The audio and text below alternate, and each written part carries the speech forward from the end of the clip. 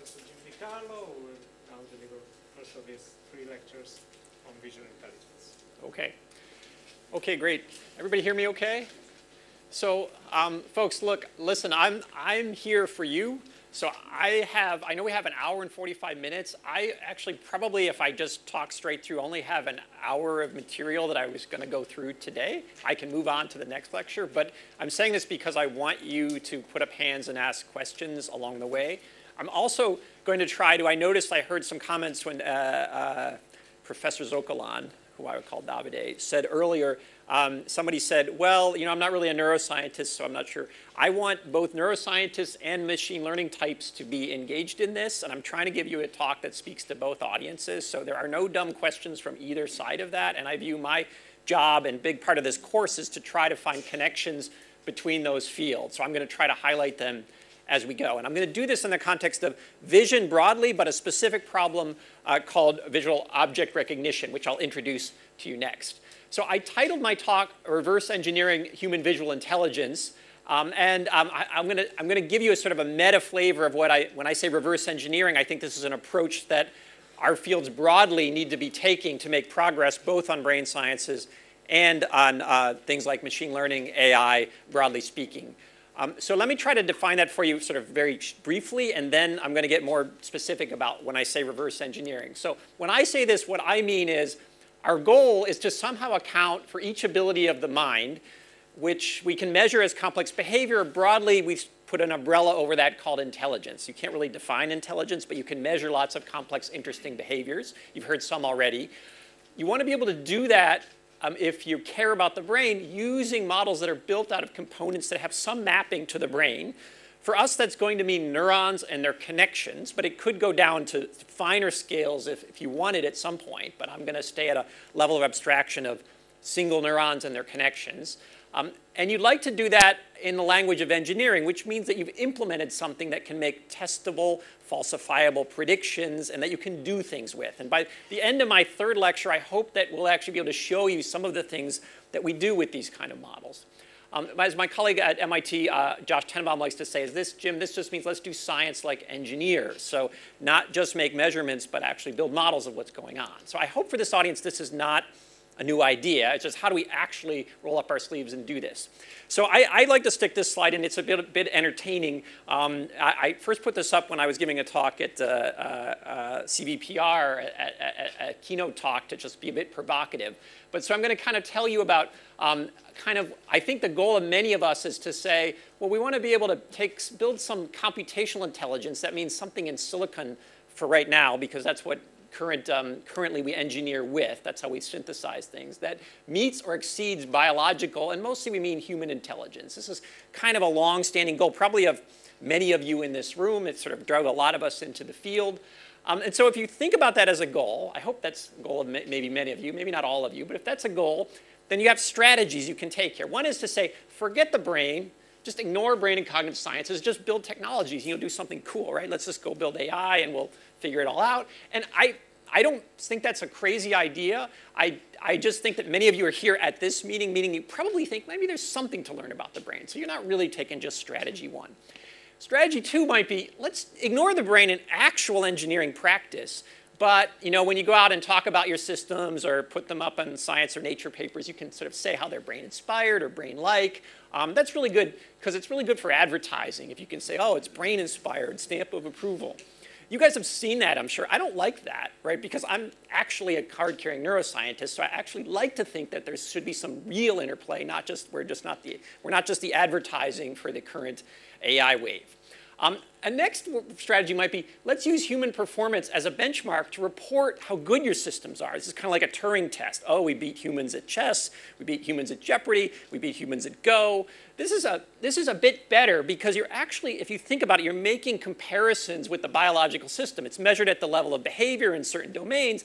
Um, but that's, in some sense, I like that better because you're at least engaging with the system, biological system of interest. It's also good for advertising, too, as you probably noticed, and those examples are good. So, you know, you get get a bit of both there. And that's actually been going on a lot. Is a bit better.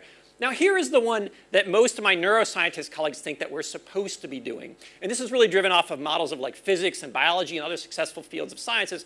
Try to find a simple reduced neural system.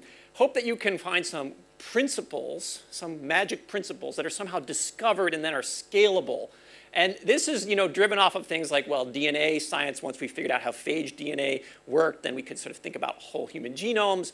Um, those are examples in science that you say, let's let's go to some reduction thing that then we'll kind of scale it back up later. And this is not a bad idea. Again, it's worked in other domains. Um, but I'm going to try to tell you something that I think I'm not sure how much traction we're going to get out of that for complex systems like brains and vision.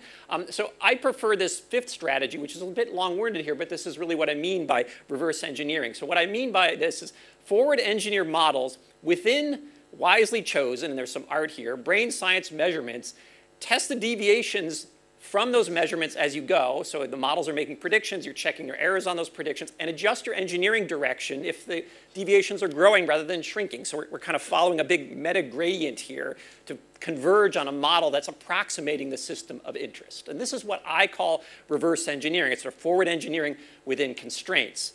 So I'm going to call that reverse engineering, and I'm going to try to show you how we've been doing that. Really, it's going to evolve over all three lectures, but I'll, I'll maybe give you a bit of a flavor of that today. And just by the way, you know, you may like one, two, and three if you're an AI person, or maybe, you, maybe you'd like at least three. Um, but if you do these two, but especially I think number five is the, the way forward, is that this enables, if you succeed in that, not only do you build better AI, but you enable new advances in human health, educating kids, brain-machine interfaces, all the things that you can do with actual and engineering understanding of the brain. And as a small aside, by the way, besides you know, solving great engineering challenges of AI, it's you know, understanding our own intelligence is only the greatest open problem in the history of our species. So by the way, that might be a good thing for many of us to work on. So I'm, I'm saying this to say, motivate you to say, let's try this five direction. That's what I'm going to talk about here today. So if, if you're not motivated by this, I don't know, maybe you could probably just leave right now and it'd be okay. Okay, so um, let's try to do it more concretely. Reverse engineering in practice. So here's, here's the recipe that I like to try to use when I think about what are we doing and how you might want to do this operationally. So first you have to define, I sort of said complex behavior, you have to spec. So this is what engineers do. Specify the domain, define it. It should be interesting. You want to operationalize it. It should be rich somehow. Again, there's some art here in how you're going to choose this. Um, I, you perhaps want to ask, as I alluded to in the last slide, what are ways that brains surpass current engineered systems? Usually we think in terms of performance. Oh, humans are better at AI system X than at some task, like playing Go or something like that, right? So you can usually think of performance, but I encourage you to also think about things like power usage, sort of energetics. You know, the brain runs on about 20 watts. Um, nothing comes close to that yet. Um, size, you know, okay, the brain's reasonably big, you know, so, but these are other constraints that engineers have. Um, so, so we'll talk mostly about performance today, but just encourage you to think broadly about that. So then once you specify something that's interesting about biology, then you want to go and, as I said, get some of the measurements that might constrain your forward engineering search. So again, you have to choose wisely. There's lots of stuff you could measure in a brain, right? So you guys know this, right? You can measure behavior. I mentioned that already. You can measure spiking activity of neurons. I'm going to show you that from our own lab because we think that's critical to the problem we work on. You could measure anatomy. That's also important. You could measure blood flow. Davide uh, referred to this this morning when said the brain gets hungry, so it draws blood in. This is what's measured by fMRI, um, neural perturbations, subcellular genetics, the list goes on and on. As you know, neuroscience is a very big tent, and it's very confusing, and there's, you can sort of measure stuff forever. Um, so you have to somehow choose wisely. I, mean, I don't have a magic recipe to tell you how to do this other than to say, think about it. Um, then you can't stop there. This is kind of the classic neurobiology loop, kind of sort of spec, don't really spec, measure some stuff, then write a paper and say that's kind of you know what you'll find in a typical neuroscience paper, experimental paper. But you want to go the next step here is like let's engineer something, a model that can actually explain what you've measured here and ideally strive to cover the entire domain. So again, this is the part about engineering under the constraints of those measurements. And the model should not only capture these measurements, but it should predict held out measurements. This came up in the context of the last talk where there was a question asked essentially about this. Can you say me, what can you predict outside of the things that you've already measured? And that's sort of the test of, of, a, of a model is how far it can generalize across a domain. So you at least want to be able to generalize over some rich domain here, and perhaps beyond that if you're really lucky.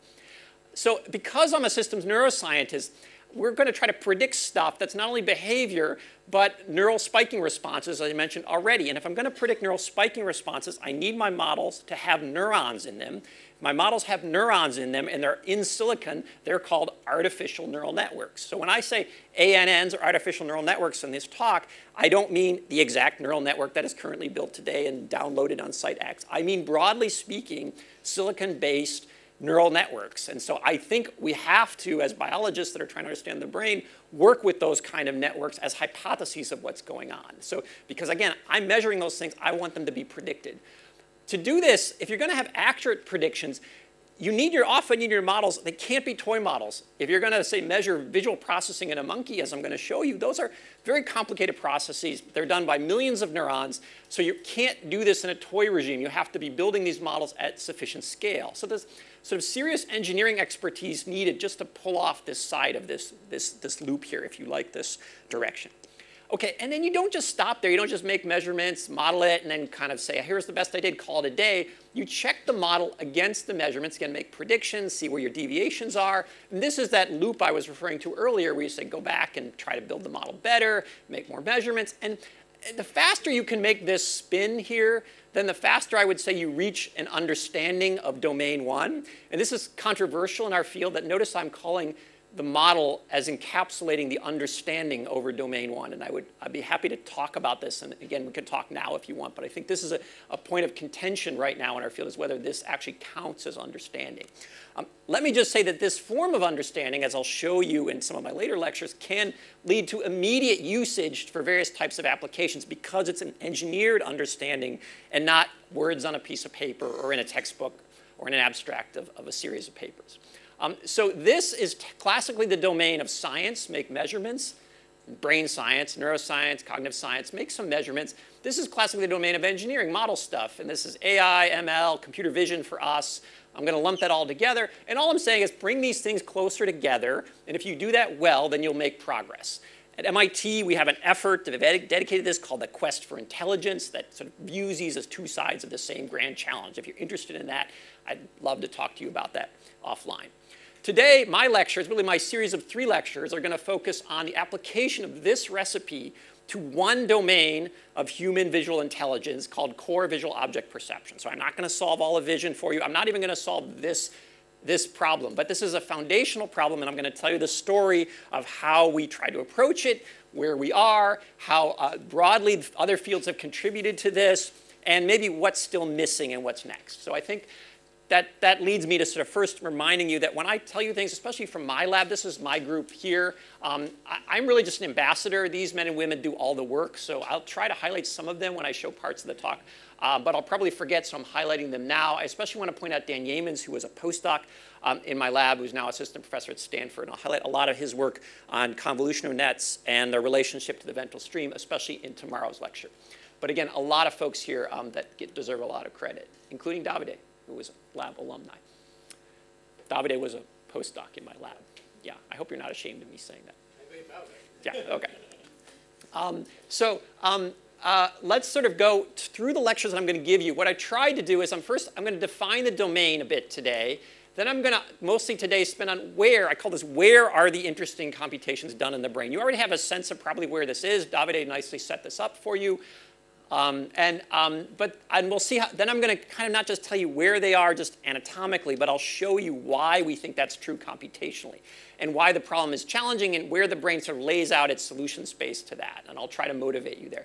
Tomorrow, I'll try to, then I'll talk about how we can model or approximate those solutions in silicon, how the current models look. And then on Wednesday, we'll talk about kind of the cutting edge of like what's probably still missing and how do we put it in. And if there's time, then we'll talk about what can we already do with our newfound modeling power. And we'll see how it goes, and I may tune these up depending on how things go for the next couple days. Let me pause here, because this was all sort of big picture introduction, see if anybody has any questions or complaints. Complaints are good. I like complaints. Nothing. Wow. Okay. Um, where, okay, let's start with what we're going here. So I stuck this slide in. It's a little old, but I think it was this audience probably needs to kind of hear this. Um, let's translate some language here. So we're talking about AI, ML, engineering relative to brain sciences. So these, these fields use different terms, but I want to try to try to line them for you a bit. So What problem are we trying to solve? I've been talking about complex behavior. In these fields, this is usually measured with a series of benchmarks for object categorization. For instance, there's the so-called ImageNet benchmark for computer vision. But um, these fields have often done better jobs uh, than brain and cognitive sciences in establishing shared benchmarks. We're working to try to do that, as I'll show you later. But broadly, what we mean in brain and cognitive sciences is we're going to make often behavioral measurements, as I referred to as kind of core benchmarks, like you know, we'll call them perception, complex behavior, measured with careful psychophysical behavior. So I sort of align those two as defining the, the domain of that's trying to be solved. What do solutions look like? What the, what do good solutions look like? Well, in computer vision, for instance, you'll talk about useful data representations. And in brain and cognitive sciences, you'll talk about explicit neural population spiking patterns as was one example that I'll show you. But these are essentially trying to say here is what an answer could look like to a challenge. And I hope that'll become clear when I do our problem. How do we build those useful data representations? Well, in these fields, this is called algorithms. You take some input, you do some interesting transformation for it, and then you get some other form of data representation that is more useful. So per, given uh, Chris's talk last, to sort of go from the measurements to inferring the latent content, an algorithm that's interesting needs to do that, and then the latent content is expressed in a data space that is in the brain in spiking patterns is how we think about it. Now, the brain, you know, brain and cognitive scientists don't usually talk about algorithms, but they'll talk about neural wiring, weighting patterns, nonlinearities, and if you put these all together in the right way, you're essentially, eh, you're essentially executing something that's like an algorithm. So an algorithm can approximate this. And this is, again, where the artificial neural networks I, have really helped us to sort of bridge right here. Um, and then how do you actually construct these? So when I, this is an, these are meant to be instantiated solutions. Like you guys are all looking at the screen, you're recognizing letters, you're recognizing faces, you have a running algorithm in your head right now for vision. How did it get to be that way in your head? So of course we think this is partly evolution, probably some postnatal development and plasticity, although we don't know the breakdown between those and really maybe even adult experience. I mean, you're quick in this, especially in this conference, it's called learning.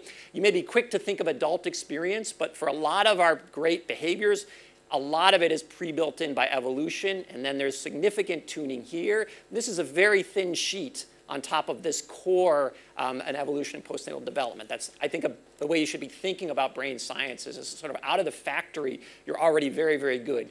So for, for, for computer vision and AI folks, they'll talk about initial conditions, broadly learning rules where they don't necessarily map them to evolution or development or to adult experience. Um, we'll just say learning rules. And of course, they have to do training data to train things up, and so that is usually thought of as some notion of experience. But again, that doesn't map well to evolution. But so these are things to think about as we go through at least my lecture and maybe some of the other lectures, how these words are mapping onto the things in brain and cognitive sciences. Okay, these are just to try to map terms. Questions here? Wow, you guys have no questions. How do I, how do I provoke you? I'm gonna put something provocative. I'll just try to think of something provocative to say. Okay, let's try how let's start with like this problem of vision in 2002 when i started my lab i said hey i would love to be able to figure out how primates do visual scene understanding that's a huge problem, visual scene understanding. We, I didn't think we could take that on, so let's try to do something simpler. And the motivating problem for us at the time was a problem we'd call object categorization or identification, which has essentially already been framed in computer vision in this kind of way, where you want to say, let's label a bunch of nouns in the scene, like cars, people, buildings, trees, um, you have a list of nouns. You want to be able to be able to say, oh, that's a car, so I've colored the box red, and kind of where it is, which is what this bounding box is indicating, where it is in the scene. Maybe also it's other latent content like its exact pose. These are the kind of latent content variables that you want to be able to estimate from this. Now, you and I look at these images and go, obviously it's a car, it's pointed this way, and so forth. But um, again, connecting to Chris's talk, these are just these are just luminance values on pixels. This is just a flat screen of pixels if you came up and looked at it. All the rest of this is your brain sort of making up what's out there in the world. In fact, um, there's nothing out there. It's just some light flashing at you, but you sort of construct some inference of like, I think there's a car out there and it's pointing this way. And how you do that from pixels which is an ill-posed problem, is essentially the, the, kind of key challenge of recognition. And we'll go through that in more detail, but I, I, want you to kind of appreciate how powerful your system is to do that. Now, here's, I'm going to reduce the problem. So instead of just working on full scene understanding, we're going to take lessons from biology. And someone mentioned this, I think, this morning when they talked about eye movements. So first of all, you should know that your retina is not uniform, flat like a computer vision uh, input typically is. You have high acuity at the center of gaze, and it rapidly falls off as you move to your periphery. So you have the illusion that you see everywhere, but you're really seeing very well at the center of gaze. So I'm going to focus on the central 10 degrees of vision. And for you, it depends where you are in this room, but 10 degrees is two hands like at arm's length. That's about the part of your visual field I'm talking about if you want to hold up some hands and sort of get a sense of what that is. And I'm doing that in part um, to reduce the problem, make it simpler, but also because the parts of the brain, the ventral stream, I'll tell you about, Davide alluded this when he drew the drawings of the receptive fields up here this morning. It's really focused on the center 10 degrees of vision as you get to these high levels of the ventral stream. So there's, there's sort of anatomical and physiological data that motivate that as well. Um, and so think about 10 degrees. I'm going to be a little sloppy with that. Sometimes it's 8, um, but just say roughly 10 degrees. Um, and that's, again, your, relative to your current center of gaze, which we'll just define right there as if you're fixating right there. Okay, but as I just mentioned, you don't, when I put this image up, you didn't just put your eyes right there and then hold stat still. As Davide mentioned this morning, you can train animals to do that. It takes effort. You naturally, as primates, want to quickly sample this scene and get as much information as you can. You were all doing that right when I put this up without you even knowing that you were doing it. Um, but what you might have done is a scan path that might have looked something like this, where you, you dwell for a couple hundred milliseconds, you do a rapid eye movement. Okay, who knows what the eye movement's called? I'm to get some people talking up. Yes? Saccade, right? Do you see when you're saccading? Who thinks you see when you're saccading? Raise your hand. Who thinks you don't see? Okay, good. Everybody else has no clue, I guess. I got 10 hands. So, right, so you don't really see when you're saccading. Your eyes are moving too fast for you to see. It's really a mechanism to get your eyes to some other sample in the scene. And the dorsal stream that Davide mentioned is very involved in choosing where that next location can be.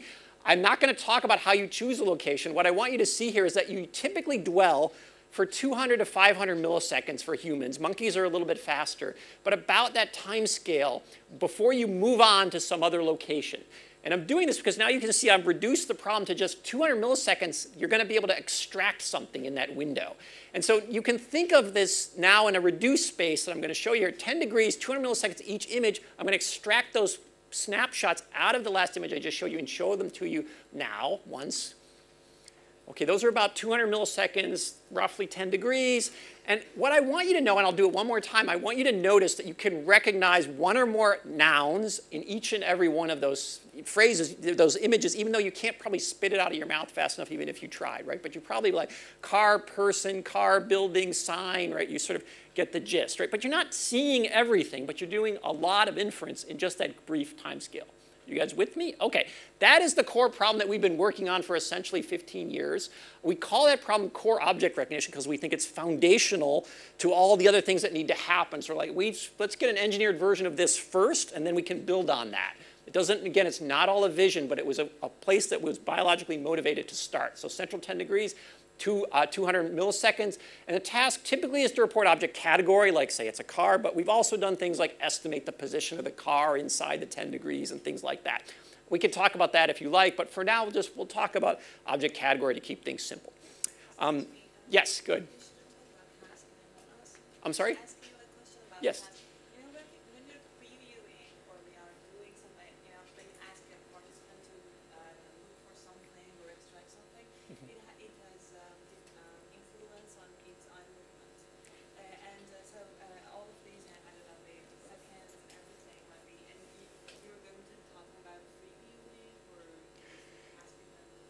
Right. So the question goes like this: When you, when you, it's well known. This is from the, the, original studies of Yarbus that if you cue subjects to say, you know, what's going on in this scene, and you say, find the person, or find, you give them kind of contextual cues, then they will make different scan paths through the scene. Right. That's your question. I'm going to try to analyze, given a scan path, which I'm not going to again try to determine how you arrived at your scan path your scan path will extract these, these images for 200 milliseconds. I just want to know how your ventral stream processes each of those images to successful estimation of the initial content. Uh, I, well, um, again, we're going to show you realistic type images. I'll show you images in a moment. They're sort of like the snapshots I showed here, but they're going to be completely out of context, right? So I'm going to remove that these aren't, these were all from a street scene. I'm not going to do that. I'm going to just show it says if I'm taking photographs of arbitrary scenes and just saying, here's 200 milliseconds. What did you think it was? And I'm, I'm only introducing this to say to contextualize that understanding in the broader sense of how vision works. To sort of show you what I am going to try to take on and what I'm not going to try to take on. So I'm not going to take on scan paths, for instance, in this talk. That would be a talk about dorsal stream control of eye movements. And somehow there's interesting interactions between the dorsal and ventral stream, as Davide referred to, to say, hey, I made a good estimate probably you can move on. At least that's the way I think. You, the motor system, can move the eyes somewhere else versus, oh, I'm not sure, sure, maybe you should dwell a little bit longer, right? Those interesting interactions like that probably take place that we don't really understand. I'm just trying to understand what happens in that first 200 milliseconds for the ventral stream. Does that answer your question? Or, yeah, great question. Thank you. Yes.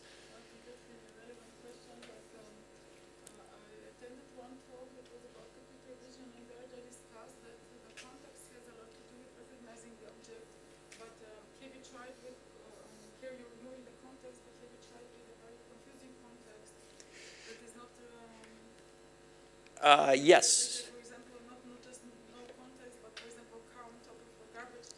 Right. Right.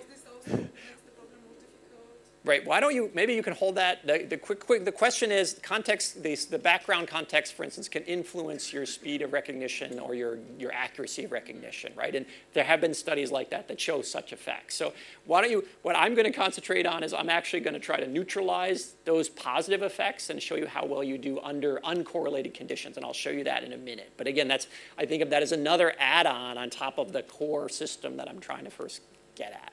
Does that, okay, so again, just trying to keep problem manageable before we engage in all of the possible complexities. And that'll come up when I show the images. Um, here's, here's the core of the problem. And again, um, uh, uh Davide mentioned this earlier, like what the reason that recognition is computationally hard is that you never actually get to see, maybe you've all seen me now and you sort of know my name, you're, you're never gonna see the exact copy of my face on your retina ever again, right? It's just the world is, it's, you're, everything is too variable, you know, my hair could be slightly different, the lighting's different, all kinds of things change. So you, you really never see the same, except in lab conditions, you don't see the same image on your eyes more than once. But somehow you're able to say these are all cars, even though there's high uncertainty in the pixels that are striking your eyes. And even you want to be able to say, oh, these are still cars even across some subordinate level variation. You, you want to say these are cars even though there's background, and there could be possibly foreground including things that I'm not even including here. And this is correlated background, but you can even do this with uncorrelated background, as, as I'll show you in a minute. So somehow you need to sort of wrap all of this and much more together and to say those are all have a car in them. And that ability to generalize over a large class of images, yet still maintain selectivity to say it's a car and not a truck, is the is the kind of thing that you need to be able to do. And Davide called that selectivity versus invariance or tolerance, right? So this is the invariance part of the problem. I'll give you a kind of graphical conceptual picture of this um, towards a little later in the talk that I think you might find useful, but I just want you to have that in mind. So this was actually the question came up of like, how do you do this out of context? So here's actually the images that we use for a lot of our studies. Um, they are rendered 3D objects placed on uncorrelated natural backgrounds. Um, so I hope that, and I'll, I'll, test you guys in a minute, I hope you could have noticed, each of you, when I put this up, you said, well, that's obviously a Volkswagen, even though you would never really see a Volkswagen floating in the middle of a field like this, right? So I've removed the contextual cues, yet you still say it's a Volkswagen. Here, we'll try another one real fast, you can sort of get a sense. Okay, uh, sort of right. Looks scary if the plane driver. Here, here's a okay. Here's a fun one. Okay, so you're not going to see that's unless it's Texas Chainsaw Massacre, cut off head. Yet you still kind of clinically can go. I think I see a face out there, right? So this is is this in context? Is this out? I don't know. We're not trying to. Uh, these are just naturalistic backgrounds. Um, and you can still do that quite well. And the reason we did this, and I think I have a slide of this, and I'll have a slide in a minute, is because computer vision systems at the time they were claiming to do recognition, but they were doing a lot of cheats using the correlated background, the things you said humans do well at. So we're like, let's isolate the part of humans do well at without the correlated background. And that brought all the computer vision systems at the time to their knees with a slide I'll show you in a minute. Um, okay, here's if you actually test someone in a lab, or a, a, you might go something like this. Fixate there. I'm not even going to tell you what the objects are. So all nouns are possible. Here you go, okay, all nouns are possible. Okay, what was it? And I'm going to give you two object choice nouns and what do you guys think the answer was? So I didn't, the face, right? Okay, this could have been a dog. You don't know. So I'm not pre-cueing you. So there's no featural attention. There's no spatial attention. Um, yeah, I'm going to give you another pair. Okay, here we go. Okay, what was it? bird. Okay, you see it's pretty easy right now. It's not always that easy because they can be small, they can be slightly to the side, right? But those are kind of examples of what we do.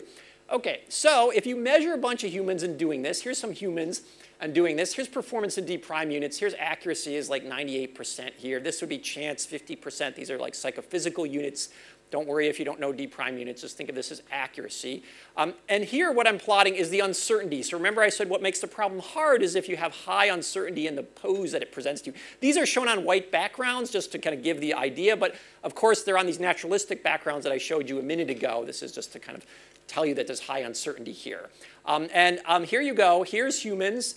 And they're pretty good. Even at these low uncertainty, they're good. And they have a little roll off. So again, you might imagine it gets a little harder when things get more uncertain. But machines, as I mentioned at the time, this is about 2009, they did really well in this so-called pattern recognition regime where they could sort of say, oh, if I memorize that particular view of that particular object, essentially memorize the image, I'd be really good, even better than humans. So they could win like barcode reading versus humans, for instance. But they would lose relative to humans on these high uncertainty conditions. So that was the performance gap that we were especially interested in when we started this work. So remember what I said at the beginning is find something interesting going on. And this is how we tried to isolate that here, that gap. So the whole rest of this, most of the today's lecture is going to be about showing you where in the brain that gap is closed, how we think the brain represents the data to support closing that gap without telling you the algorithm to get you to that gap, which is going to be tomorrow. So I'm just going to give you the lay of the land here today. So I want to first kind of, since we have time here, give you a sense of, I've been talking about 200 millisecond viewing duration, and then I kind of quickly showed you some examples where 100 millisecond viewing duration.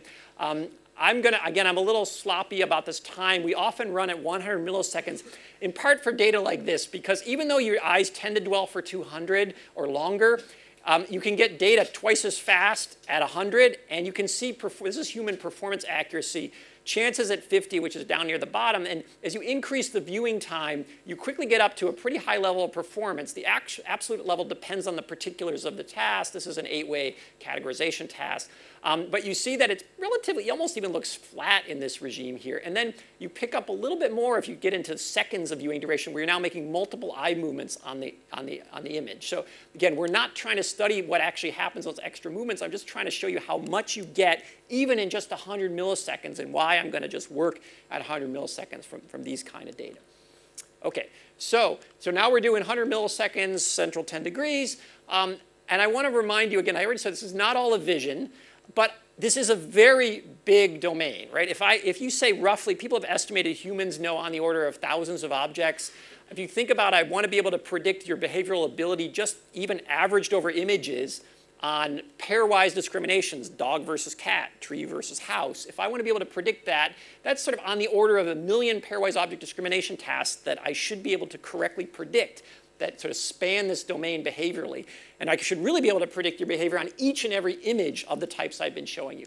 And I, so here's the images. If I'm in the central 10 degrees and I'm showing you things at roughly 200 by 200 pixel resolution, that's a 40,000 dimensional input that I'm providing you. So that's like, if even if I'm just black and white, it's 2 to the 40,000 possible images for which I want to say I have a model to correctly predict the neurons all the way up your ventral stream and your behavior on that very large number of images. Now, of course, I can never test all those images, but I can always test held out images and see how well our models are doing at predicting neurons and behavior.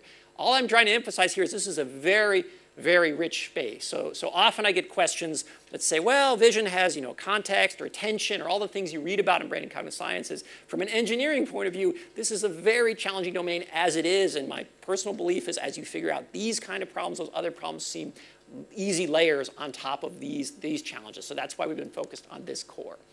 Okay, I've been talking about humans. I've been testing you all to say, look how great you are. And I showed you humans are better than machines in some areas of generalization, at least in 2009.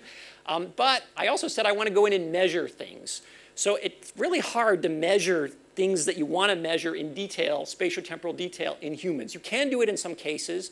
Uh, Davide referred to that when he talked about uh, the Quiroga studies where you have human patients where electrodes have been inserted in them and you can measure individual neurons like that Jennifer Aniston cell. Those are very rare data and hard to do systematic studies on that patient population. Plus, you're never sure if the tissue is entirely normal because these are patients that have um, seizures, which is why you're putting electrodes in their head. Um, so it's very hard to do systematic work in humans. So we work on this species, the rhesus monkey here. And if I'm going to switch species on you, I need to justify that for you at the behavior level, which I've been motivating all along. Okay, so um, I got to wake this guy up in the corner over there. I, yeah, there he is. Oh, I got him. Um, so um, here is, um, here's a monkey doing the task that, I, that you were just doing. So these monkeys are trained. I'll show you their training data earlier. They actually learn a new object. Roughly, it takes them a couple days to learn each new object. I mean, monkey doesn't know what a car is when he walks in the lab. But they start to do the same task you were doing. He's triggering the presentation of an image that lasts for about 100 milliseconds, and then he's choosing among two objects. And notice the choices are many. There's, there's no, it's not, again, the same two objects every time. So this, this animal knows something like uh, 40 or so objects, I think at this point. Um, again, they, we can teach them a new object every couple of days, and they do this in their home cage all day long. They run thousands of trials, and we get a lot of data this way. Um, and I just want to you know, get a little sort of fluid reward for being correct. The green is correct, the black is incorrect, just to give you a sense of what's going on there. But okay, you go ahead and you collect that primate species, a lot of data. You put things up on the mechanical Turks, you can measure a lot of other primates, i.e. humans, doing this. We can also measure things in the lab to carefully control for things, both the monkeys and the humans. And you do all that and you can get a lot of data that looks like this. This is, one of these is a, is a monkey and one of these is, is, is, a, is a human. And I'm not telling you which is which um, because um, the key point is I want you to see how similar they are. What these color maps are is indicating the difficulty of this, or if you like, the ease of discrimination. So blue means easier to discriminate. Red means harder to discriminate. So tanks are more often confused with trucks, which you can intuit, than they are with birds, right? So humans are not perfect. If everything was perfect, these things would be fully blue. So sometimes some things are just harder to tell apart than other things. And that's what's reflected in these color maps here. This is averaged over hundreds of images in each case. So this is kind of like the average tank confusion with truck, the average tank confusion with bird. These are symmetric matrices if you haven't noticed that. So you can really just pay attention to one side or the other. But what I really want you to see is how similar they are. Um, and so at least statistically, we can't tell the rhesus monkey from the human, at least for the kinds of tasks that I've just introduced to you and the kinds of images that I showed you. And I, I, can show you later, we'll have data, this will come up on the third day, about more precise data at the image level. We still can't see differences between humans and monkeys, even at the image grain. But what I want to tell you now is this gives us license to go in and measure the internals. Now that we've said this primate looks like that other primate, but this primate, I have license to go in and make some measurements of in a systematic way, so we can go in and do that. So now we're going to go into the monkey brain. This is the human brain. That's what we really like to understand, but we're going to use this as a model system which has the same behavioral patterns as I just showed you and say, well, we should take this as, a, as almost literal model of what's going on in this system here. Um, there are interesting scaling questions we could talk about as, as but, um, that still have to be solved here. But for now, we're going to take this as a one-to-one -one model. Um, you see the primate brain is, of course, not as same size as the human brain. I'm going to talk about the ventral visual stream, which Davide has already introduced you to, because decades of neuroscience has told us a lot about the ventral stream.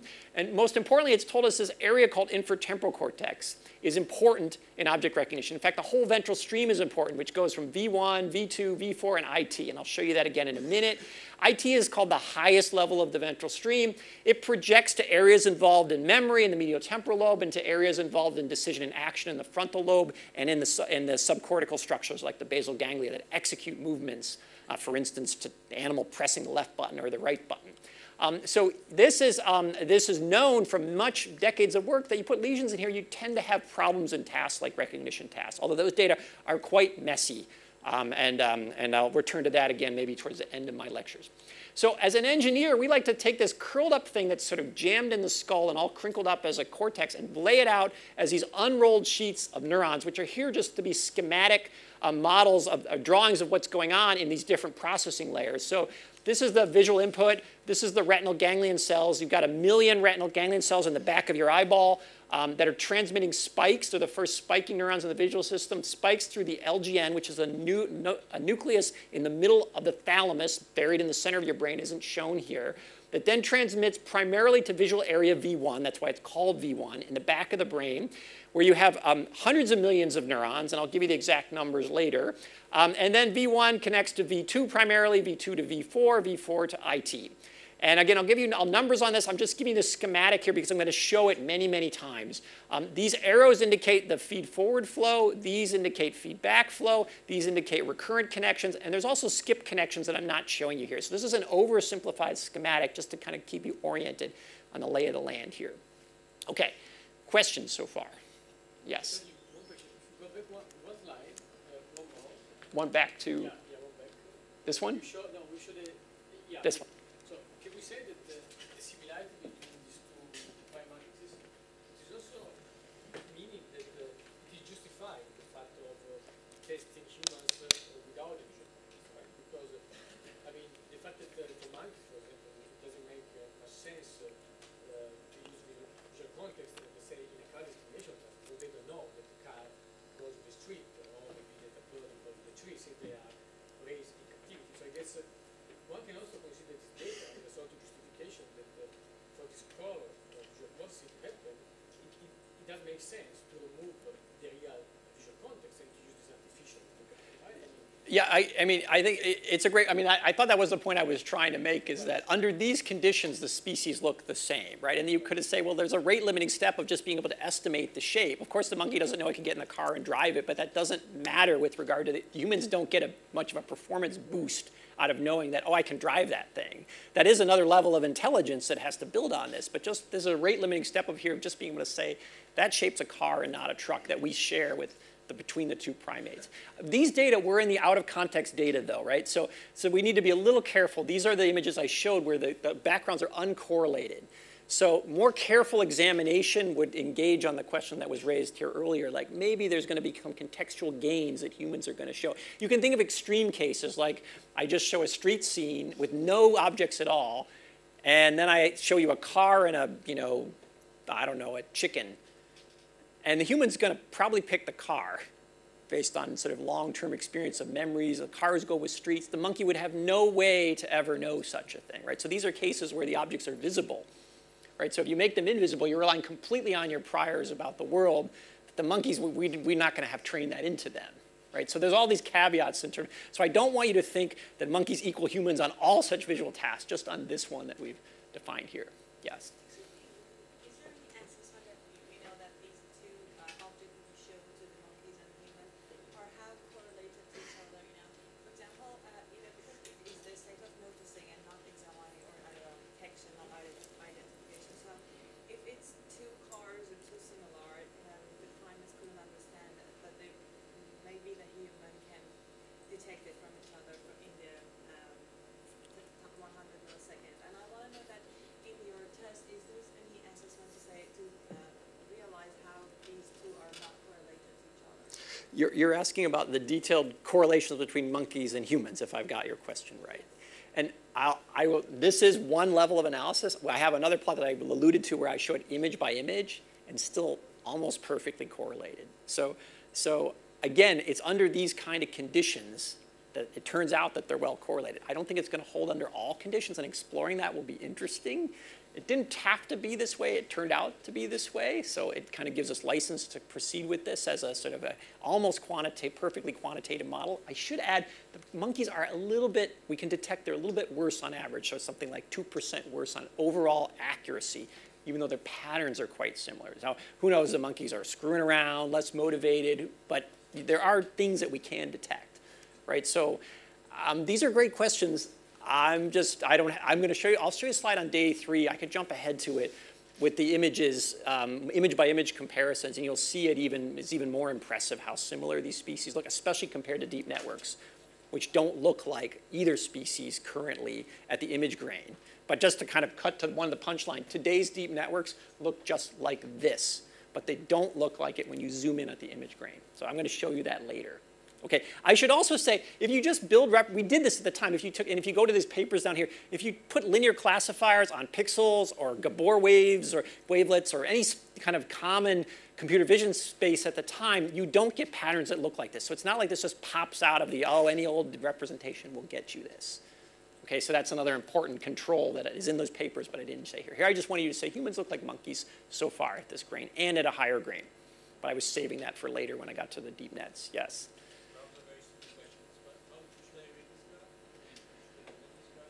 So, Okay, I'll try it one more time. So maybe I went too fast. So um, a square, let's say, let me show you an example. So this little square there, see that's truck and uh, tank, I think. That truck, and if I sort of, I don't have it written up here, but you'd have to translate that. That's truck versus tank. And this red means, here's D prime. So there's D prime. This is high and this is low. So redder means harder to make that discrimination on average, right? That means your accuracy level averaged over many images is like something like two or one point something. Okay, but if I go to the blue, those are examples where, I don't know, it's like table versus watch, I think is this one over here. That's like blue, that's like D prime level of like four. Okay, so you're really good at, you do better at that, right? So some of this is intuitive when you think about it. I think these shapes are very different, but that's kind of the whole point, right? That both species confuse shapes in the same way and other visual representations don't. Where did you go? Did I answer your question? Yeah, okay. So it's sort of an average difficulty in a binary discrimination test. I was giving you single trials when I showed an elephant and a person. And that's like one trial of a binary task, but we run them interleaved so that you, you don't go into the trial knowing what you're doing, and then we sort it all out later into binary kind of average performance levels. That's what this is. That? And the reason we run it interleaved is to neutralize attentional effects. You're not like, I'm looking for the elephant. I'm looking, you, you're looking for many things at once. That's, we want neutral attentional condition. We just sort it out later. Yes? I have a slightly unrelated question. Can you process scene and object at the same time? Like, like in a image you're showing object and scene. I felt like I can't process the background scene while I'm focusing on object. Is it like, is my own subjective report or like, which I can you process both background and scene and object at the same time? Well, that, that's a physical question. So we'd have to put things in the background that you would want to test. So you, a beginning part for us would be, what if we had multiple objects up and you had to report both of them? Right? We haven't done much of that. In very reduced conditions, you can do that. We have not done it with these complex images. It's a great forward question. Or, you know, if you put in sort of subtle things in the background, there's going to be limits to your ability to do that. They're also going to depend on how you cue the subject. Like, you know, are you looking for the background or the object, right? So again, do you want to interleave those? Do you want to neutralize the the attentional effects on top of that. So you're going to be able to do something, but I share your intuition that you're not, you're not extracting. I don't want you guys to think you're extracting everything from these scenes in 200 milliseconds, or from even these, these images here. I was just trying to say you extract a lot, monkeys do also, and you're better than machines, at least in 2009, at, at doing that. That's all I'd like you to take so far. But you guys are kind of on to the next vision questions, and I'm just trying to give you a history of where the field is to now. So, um, yes, okay.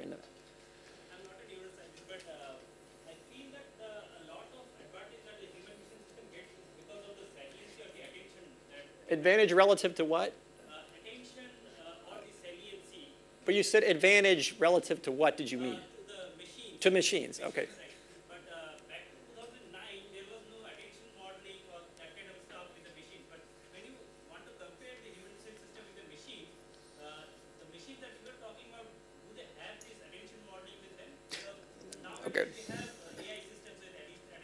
Right. So again, I'm giving you the history here. We were working on this like way back in, you know, in 2008. We showed the computer vision field that they were using the wrong kind of tests, right? So in 2009, we were building GPU-based convolutional networks, right? So I was showing you how what we were doing at the time, and that's why I said 2009. And I already sort of give you it's like the current systems are up to human level on these kind of tasks, but they're not fully human. So that's the punchline. But I was trying to also motivate you to say, hey, we could, we, the broader we, could do this again for some other aspect of intelligence. That's the, what I'm trying. I don't want you to just sort of take what I tell you and like write it down and say, let's go home. And I want you to think about applying these strategies to other problems of intelligence, right? That's, that's the main meta lesson I'd like you all, because you guys are students, you're going to kind of solve the next problems at the intersection between them. So I'm trying to give you a historical perspective on how we approach, it. and hopefully you see something that resonates with a problem of interest to you, whether it's the next vision problem, an auditory problem, a somatosensory, some other you know, decision problem. There's, there's ways that you can sort of take that strategy of reverse engineering. And if you, I hope that would be the fun thing to discuss. What are the next problems? So again, this is a bit of a historical perspective. Yeah, okay. Sometimes, sometimes earlier it shows us the lowering of performance of humans in the 100 and 400 milliseconds. This, this one? This part here? So there's a, what I wanted you to highlight is 50 is down here, so you get this huge gain in showing up to one, 100 milliseconds, and then you kind of get a little bit of gain if I let you linger for a couple of eye movements on it. So what is the question on this one? Uh, why this part or this part? Why this is sort of not at 100 or? You mean why doesn't it go to 100? Oh, I'm not sure. Look, there's error bars in here, right? Um, I'm not, that's actually, you know, if this was the data that came out when we ran this, and we've not investigated whether this is really actually flat right here, so I wouldn't read too much into that.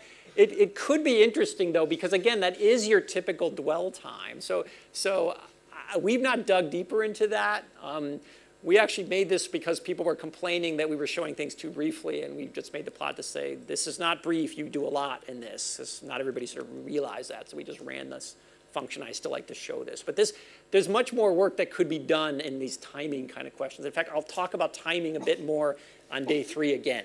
Um, we'll come back to these kind of, maybe we'll have, once you see day three, maybe we'll have, have some other ideas there. But don't take Jim, this is saying, this is flat. I'm not trying to declare that, I'm just showing you the data, and it happens to look a little flat. Yes? My question is not next generation. It's on the slide where you segment the neutral path, Okay. Where I lay out the areas, right? This, no, no. I mean like this one? where you reverse back from, to, yeah, this one. Yeah. Can you elaborate a little bit on the pathological segmentation? I mean, like, just I want to know, like, in the brain, uh, how is it by cell types that, Perfect setup. That's the next part of the talk. Okay, let me go on to this, so in the interest of time. Um, this is great, guys. I'm glad we're having all these questions. So let's see, if I don't answer it through here, then ask me again. Okay, so how do we kind of lay that out? That's what this is about. Why does this V1, a V2, how do we even know that? And why is one higher than another? And so, so that's a monkey, of course, that's a rhesus monkey. That's what its brain looks like when you take it out and it's fixed, right? So now it's, this is actual fixed monkey tissue. Um, if you cut it and stain it, this is sort of zoomed out, um, this is what it looks like. So now it's a, a thin cut section on a slide. And you notice you see these funny little lines in here. So this is cortex. It's about two millimeters thick all the way around. So that's two millimeters thick. And this is white matter down here. This is where the axons travel. These little tiny dots that you can't really see that I'm going to show you down here. Each of those dots, that's a neuron, right? So this is a Nissl stain. See all these little dots that you can, they look like grains of sand. Those are all neurons. Neurons, there's more neurons here, more, they're more dense here, a little less dense here. This is the white matter. Um, these are called layers in cortex. So all cortex, all neocortex, which is this outer cortex here, has a six-layered structure. Um, and you see, you know, most of the cells are, you know, between layers two, three, and six. Um, and they have, they have different cell types within layers. I'm not going to, we could go through that if you want, but I wasn't going to go through it today. I wanted to just say that when you slice tissue like this, this is partly how originally neuroscientists these are Brodmann areas originally. You start to look at these, and you can even see it here like, well, look, that looks like there's a thick line here, and it looks different over here. You can see it by eye, that this looks a little different than that. Can you guys all see that? Just even at the scale. That's how Brodmann cut up the areas originally to say, oh, we'll call this area 20, this is area 17, this is area 18, gave them all numbers, okay? That was the first way to demarcate what later became areas. It's not the only way, but it's sort of, that's how you define areas is based on differences in densities of cell types like this, okay? Again, for the visual areas, the other way you're going to define them is, Davide mentioned this, you have a retinotopic map, back to this slide here. You have a full retinotopic map in V1, you have another retinotopic map in V2, and that coincides with the differences in cell structure. So there's two pieces of evidence saying, let's treat these as two separate areas, both cell type structure, layout, and the fact that you've got a full retinotopic map. And you can continue that up to the higher areas that I show you, although it gets murkier, as I'll, I'll show you in a minute, to, to whether you should call it one area or two when you get these areas like IT. But these are the basic ways that anatomists did this. As I mentioned, decades of work um, kind of tell us these things. I'm putting a little high, I'm going to show you a little more in a minute, but I'm putting a highlight here to say this is what we call an area, like we'll call this area V1 in a minute. Um, in the CNN models I'll show you tomorrow, uh, the neural network models, these are going to be modeled as a layer. And so this is an unfortunate kind of terminology because the ANN field likes to call layers and models, but Cortex has six layers within areas. So it's a little, the layer in model, layer in Cortex does not mean layer in CNN. Area equals layer in the talk I'll give you tomorrow, and maybe we'll come back to that. If you, now, these are the cell bodies. You guys should know, this is called a Golgi stain. There's some neurons here. This is staining only a subsection of the neurons, a subset of the neurons, a small subset. Um, this is what allowed uh, uh, um, uh, Ramón y Cajal to do things like sketch out all these cell processes um, so that you have these. Now you can see that each neuron is much more than its cell body. It has these very long dendritic processes, especially these so-called pyramidal cells and then axons kind of coming off the screen here that you don't see. But I want you to point out that the cell bodies are just kind of the tip of the iceberg of what's going on here with the full neural network that exists here. Lots of room for connectivity in these kind of things here. So that's what's down at the bottom level. And you go and you put electrodes in, like physiologists like, like Davide and I do, is you go and you put electrodes in, and you try to have electrodes near enough to a cell that when it fires an action potential, a spike, that you'll be able to record that like shown here. The time scale here is about half a millisecond across this action potential. And these spikes are what I'm going to talk about today. They have privileged status in neuroscience, and the reason they have privileged status is because if you think about a task like vision, or you know anything that happens fast, like you know, I don't know, I'm from Boston, so I'm a Red Sox fan, right? You're going to hit a baseball, so J.D. Martinez is going to hit a home run. The time for that to come through, this is the only way that you can send information through the brain at speeds that can actually do actual online behavior like vision right? So there are lots of other ways to transmit information over slow time scales, you know, molecule diffusion and so forth. But at fast time scales, like 200 milliseconds, you're going to need spikes are the main units of information transmission. So I'm saying all this because that means spikes have a privileged status. They are the units of information transmission. Unlike blood flow, for instance, which measured in fMRI, which is an indirect measure of spikes, right? There's, lot, again, lots of other brain measures, but spikes are privileged is that they are doing the online transmission. If we talk about learning, we got to think more broadly. But if we're talking about vision in action over 200 milliseconds, spikes have precedence. Okay, so, so we're going to record spikes. I'm also showing you this to notice that we're going to record hundreds of samples out of areas that have millions of neurons. So we're making uh, inferences from small samples onto what full populations are doing.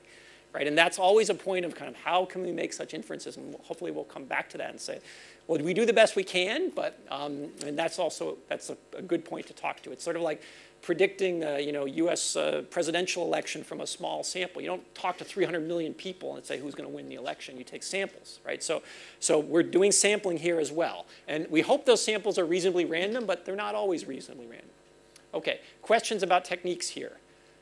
All right, so how, back to areas. So um, we talked about area V1 and V2, or areas of how they're demarcated in two ways, by retinotopic field and by um, cell typing in the Brodmann areas. That sort of gives you these kind of maps.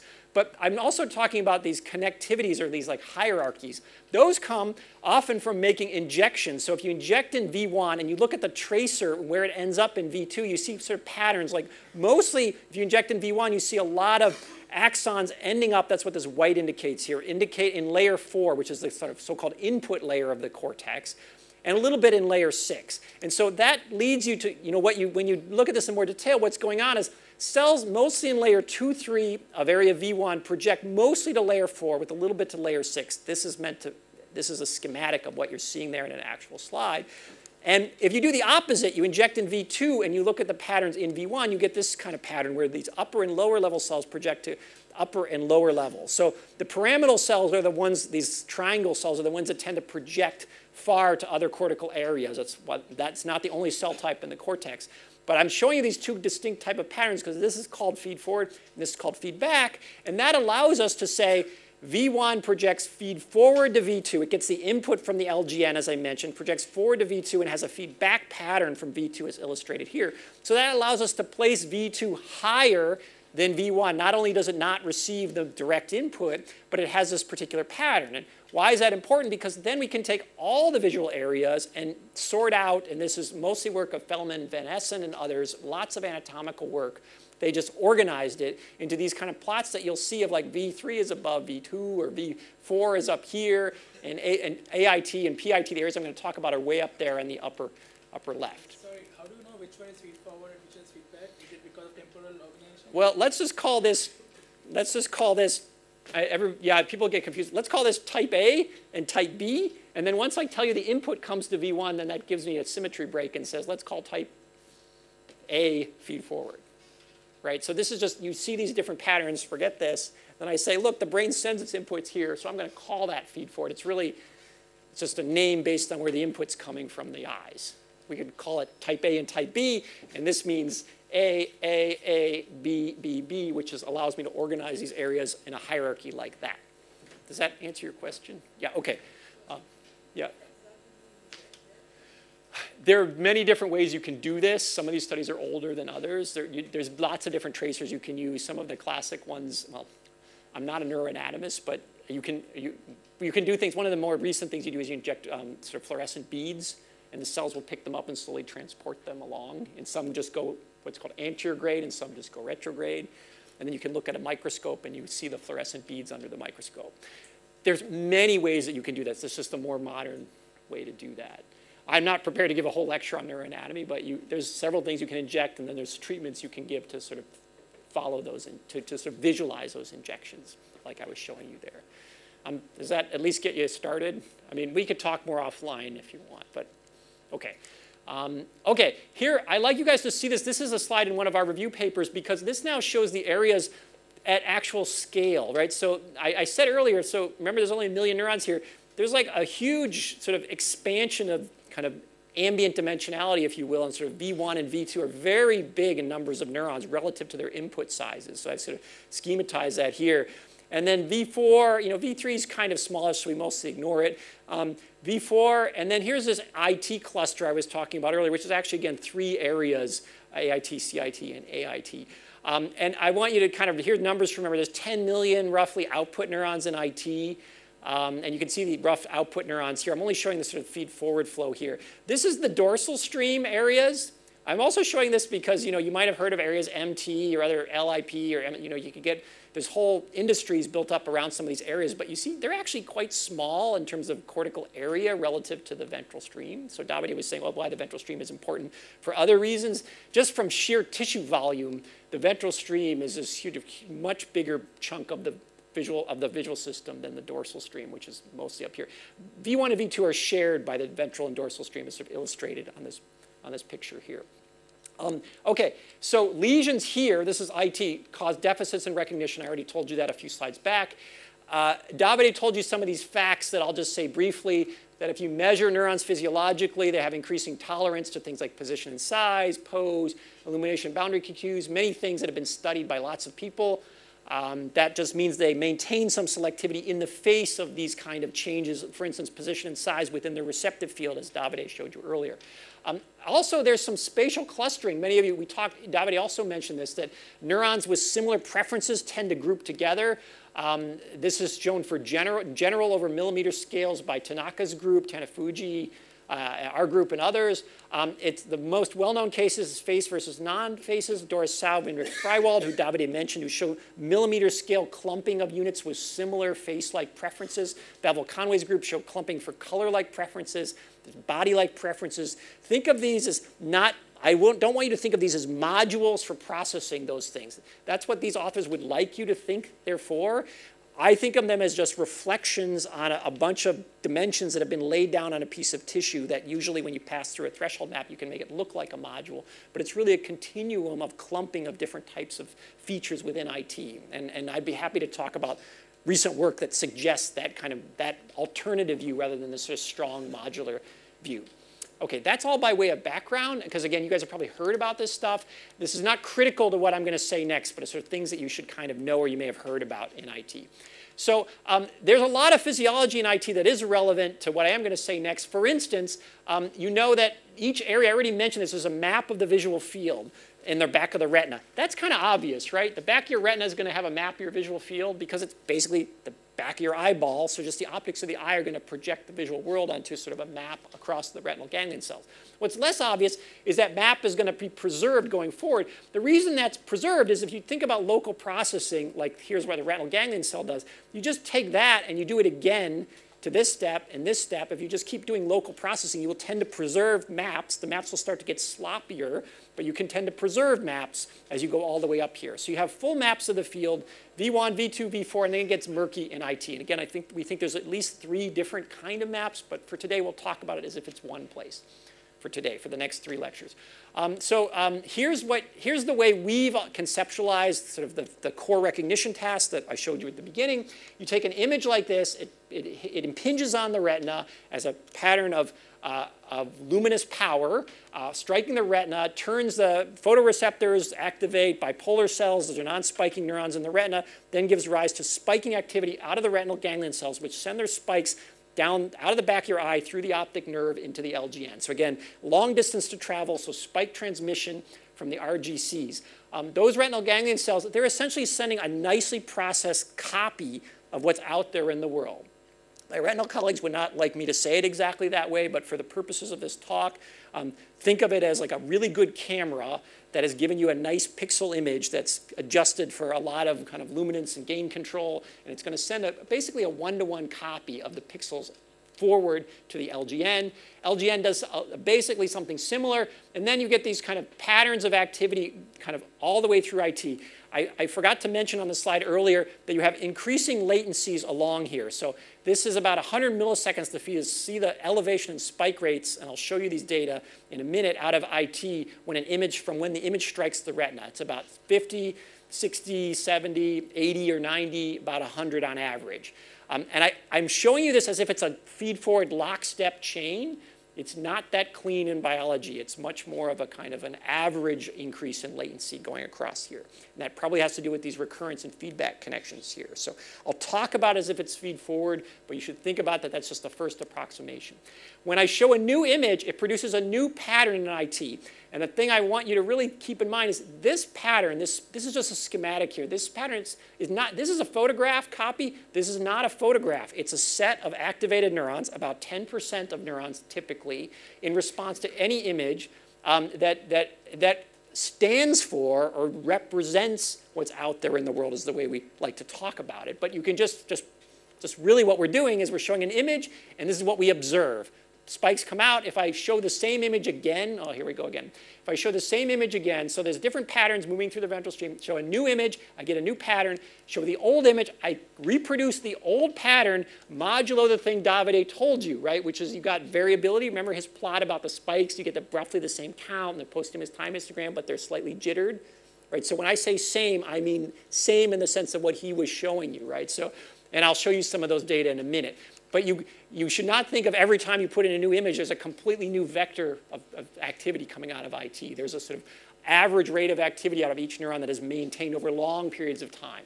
Um, and so what's really cool is IT, your whole ventral stream, can follow along at lags even faster than 200 milliseconds. You can go much faster. See, this is actually 150. You can go down to like 25 milliseconds and still these patterns will still spit out, albeit weakly. So the following rate of this system is, is, is quite strong and, um, and, and, to evoke these patterns, which is why we run at about 100 milliseconds because we can put, get much more data that way rather than the natural 200 millisecond time frame. Okay, so these patterns are quite important. I, I, mentioned I was going to show you this. Here's the spiking patterns out of IT. This is a one neural site recording in IT. David already showed you this. These tick marks are action potentials. These are raster plots. As he showed you, each row is a different presentation of an image. These are four, old, these are four older images from an older study. Uh, just four example images of one IT site. I want you to see, when I say the same pattern, I want you to see this elevation that exists on all repetitions here but not so much here and here. So you can see if you just squint your eyes at this, there's like higher rates here and here and less here and here. If I go to another site, you see, oh, look, this tends to like this image and a little bit, maybe these two, not so much over here. And then here's another one. Oh, it really likes this here and somewhat over here. So you see there's variability, but there's also stability, right? So you have to kind of keep both of those in mind at once. And I'm going to talk mostly about the stable part. We view this variability as a nuisance to us right now, and that's another interesting point of topic. We do our best to sort of average over that variability, as, as I'll show you here in a minute. So the way we do that is we count spikes, Davide alluded to this, in basically big chunky time bins. We're going to relax this on day three uh, to smaller time bins to look at finer temporal resolution. For now, I want you to just think of a big chunky time bin that's averaging over time, about 100 milliseconds, and averaging over repetitions. Here we're showing 10. We typically do 50 or so for each image. And these are randomly interleaved images, not like we show this one 50 times and this 50 times. We randomly interleave everything and then sort it out again later. And this is what you get out of it. So this gives you now one number per image per IT recording site. So your life is nice and simple. This is in units of spikes per second. Here's some examples of these numbers. I'll show you some more in a minute. Um, we scale this up by not recording with just single electrodes, but by putting in chronic recording arrays so we can record hundreds of sites at once.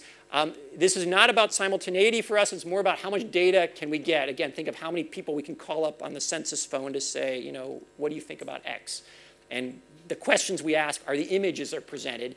And this, these methods have allowed us to dramatically increase, really in just the last 10 years, the amount of data, which is sort of number of images times number of sites per day that we can get uh, by having these kind of chronic array methods in. We can plug the animal in every day. These arrays are implanted in a sterile surgery. The animal has connectors on its head. They just come down to the lab. We plug them in, get them fixated, eye calibration, as Davide mentioned, show a bunch of images, collect a lot of data this way.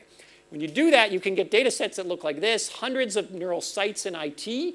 Um, and um, these, are, these are now showing the mean response in a color green. So all that, that big chunky time window, you're not seeing the spikes anymore. You're just seeing the average response out of each IT site. And um, this is just to give you examples. This, this is now neurons um, for one image. And you see that those are four numbers just to fix ideas. And you know, here's eight images, and then you see that these vectors look different. So these are called neural feature vectors. They look different, and here's you know 2,000 images. So again, we collect as many images as we can. In this case, re 50 repetitions inside each of those bins that we've averaged over. So this is kind of a typical data volume that we get out of an animal or a couple of combined animals to get to these kind of numbers. And those are the data that I'm going to show you for analyses next. Okay, so is everybody on board with where we are? We know what I'm showing you here? Okay, so I've glossed over a lot of sort of spiking details that I think you guys might want to come pull back as we get to the next later in the talk, but this is just first pass. Okay, here we are again. There's a spiking activity. Take the chunky 100 millisecond rate code, we call it. Average over it. There's the feature vector. That was in green before. Now it's in yellow, but it's the same thing. This is like N neurons. Here's the, the, the intensity of response indicates the activity level of that neuron for that image. Um, that is a point, you can think of it as a point in an n-dimensional space where each uh, axis of the space is the activity of one recorded IT neuron. So the dimensionality of the space is the number of recorded neurons. This is called the neural state space. This, has, this is useful conceptually to think about what's going on. At least for me, it's helpful that this is that image in that space. There's a little bit of jitter around it, which reflects the neural noise I mentioned, so it's sort of shown in green.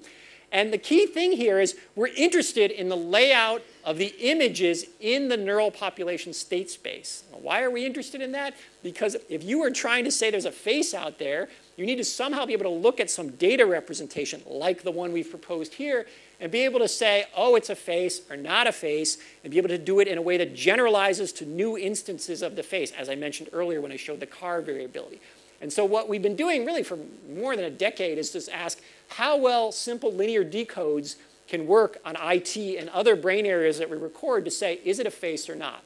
So a linear decode is essentially, take, think about, again, all the images here, schematized in, in green are the face images, schematized in red would be the non-face images. This is a schematic data. And if the world were pretty like this, you could kind of draw a line in a, in a two space, it would be a line.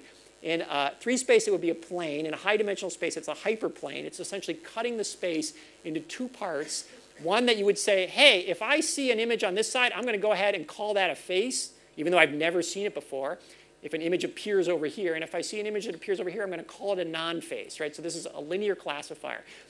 Does this group know what linear classifiers are? How, who, should I go through it slower?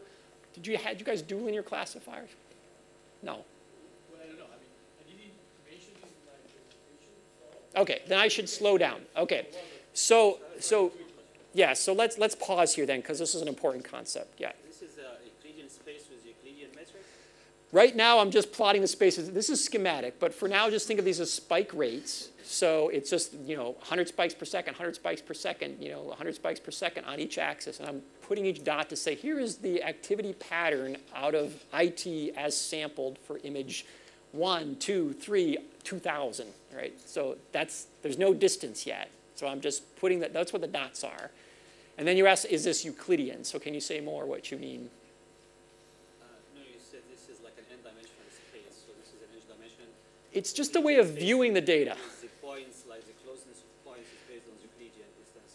Well, we can now analyze it in different ways. So these are important details of how we should analyze it. But what I'm showing you here is just, here are the, here are the, um, think of each image as giving rise to a particular population pattern of activity, which can be thought of as a point in this space, right, where this is just the activity of neuron one and two and so forth. So the units are spikes per second on all axes, right? And we measure each unit. Oh, that neuron two fired 12 spikes per second, neuron three fired six spikes per second. So we measure, this is, maybe this is an important concept you, that I said, but isn't, needs to be stressed. Every image, every neuron is tested with every image. So we can construct the full population vector. We don't collect some images for some neurons and then a different set of images for different neurons. Then we wouldn't be able to make such a plot, right? So every neuron is tested with every image. And so that allows us to make a population estimate of what's going on in the population for each image. And that's kind of what I'm schematizing here. You still look puzzled though. Does that make sense so far? Yeah, okay. Is everybody on board with this? This, this, this is a kind of core concept, state, neural state space. Yeah. Essentially, there are 2,000 dots for each layer. In principle, this is just a schematic, but for the data set I showed you, there would be 2,000 dots. Right. Because I showed you 2,000 images, it'd be, and I showed you, let's say 100 neurons, it'd be a 100 dimensional space with 2,000 dots in it. Right? And now, so now our job is to say, look, our hypothesis is that some down, when the monkey is saying it's a face or not, and not a face, or it's a face versus let's say this could be face versus dog or you know a two-way task. There's many ways you can run this. For now, I'm going to run it face versus not face. Um, when the monkey's doing that, somehow he has to instantiate some mechanism to go from the spikes in his head to actually pressing the right button. And we just approximate that with some linear classifier where we're going to put a line through the space and say on this side it's a face and not face. So where do we put the line, or really a hyperplane in high dimensional space? We have to tune the parameters of where we put the line, right? So there's three parameters there. How do we set the parameters? We use some of the images as so-called training data, and then we test on held-out images. And now those details are important. We think of them as like the images the animal had to see when it was training to know where the heck the face was in the first place. And um, so, so we train linear classifiers to do this. I'll show you that in, uh, schematically in the next couple of slides. But I want to kind of pause here for the neuroscientist colleagues and go, this geometric picture, you know, machine learning types like this, I like this picture. It sort of makes sense to me to think about what's going on with the data. But this is really nothing more than when you think about a downstream neuron taking a weighted sum with a threshold. This equation here of a response of a simple perceptron-like neuron is essentially what this hyperplane is implementing. And if it's firing, then you're on this side. And if you're not firing, you're on this side, right? So these are, this, the, these are exactly equivalent. And what you need to do is find the weights here that best separate faces from non-faces in a predictive sense, meaning new images will come up and you'll still be able to say it's a face or not face. Just not just separate the training data, but do well on the held out test data. Okay, did, did this linkage here, do you guys, did you guys see this? Does this, maybe, I see puzzled faces, so maybe I'm not, I should slow down here. This is an important idea, right? You're gonna take weighted sums with a threshold, that amounts to cutting the space in two partitions, like either you like it or you don't. Uh, and for the neuron, it's like it's firing or it's not. Now, it would fire more and more and more and more the further out you go here, but it doesn't matter for a classification task. If you're firing above some predetermined level, you'll just declare that, I'm going to go ahead and press the face button. But why do you assume that this is so simple, this linear is separate? Right. Why do I assume it's as simple? Like, hey, this is IT, there's a motor system, there's all these like other nonlinearities intervening.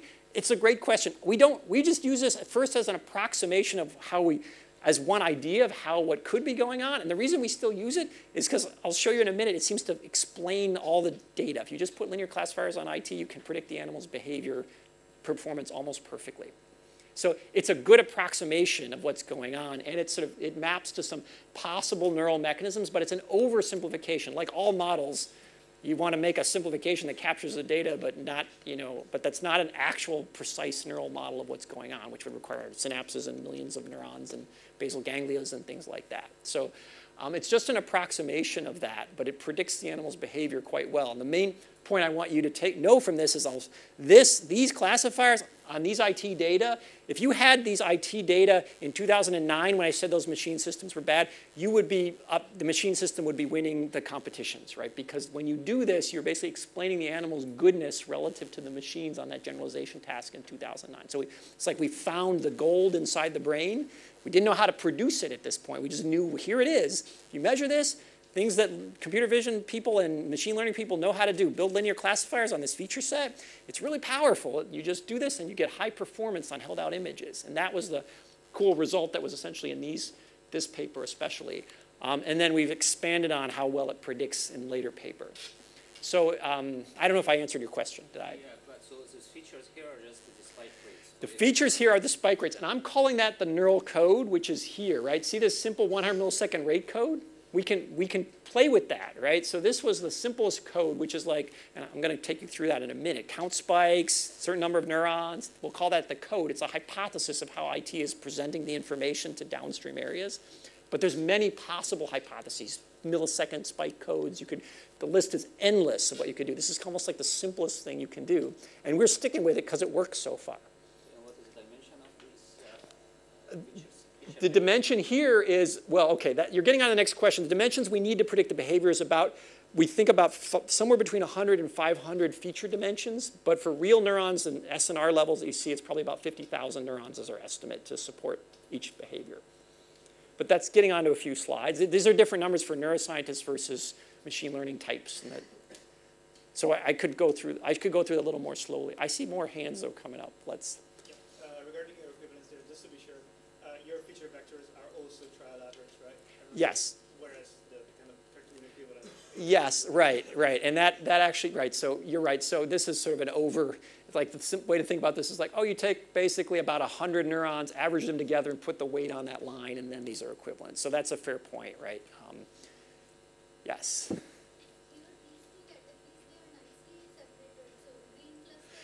This is just schematic, by the way. Said, so, but sorry, keep going. So it's, it's nicely separated. There's a plane, but if I had put this line this way, it wouldn't work, right? So I have to tip the line the right way.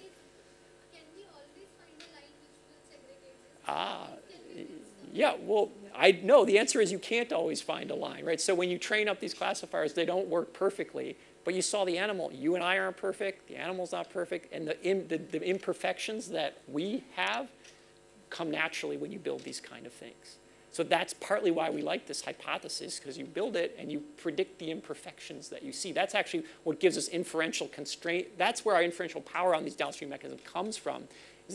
Not just that it's good and perfect at everything, but when it's bad, it matches the way that you and I and the monkeys are bad.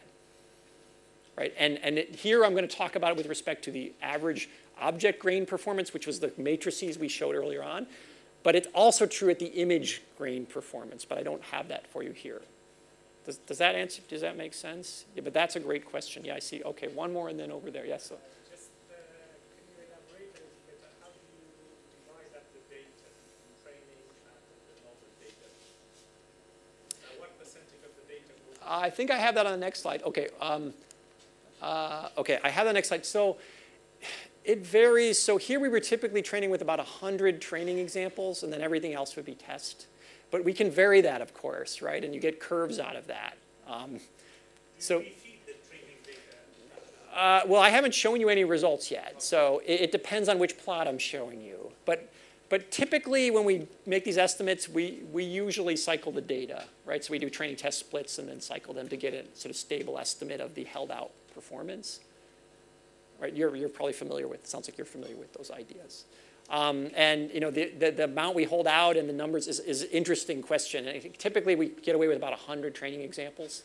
We don't know how to map that to a monkey. We haven't done the details I said a monkey learns. We haven't tried things like a full reinforcement learning classifier that followed the exact path of the monkey. Would it get to that monkey? Those are kind of on, that's ongoing work in the lab. This is just saying, hey, this idea gets you pretty far with the sort of re, like lowish number of training examples. but certainly within the number. The monkey sees a few thousand to get up to human level performance, for instance. Yeah. One more and then we, okay.